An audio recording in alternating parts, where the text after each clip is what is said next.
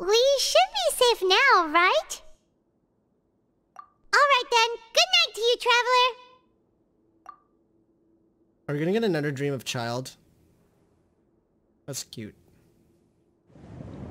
We are getting another dream of Childe. Ace, where are you? Ace. Ace! There's so much Childe. oh no!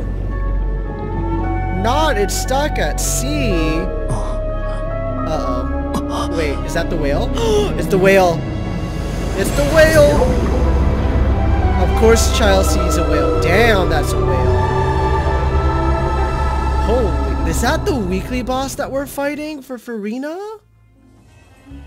Bro, what? That thing's huge. How are we supposed to fight that?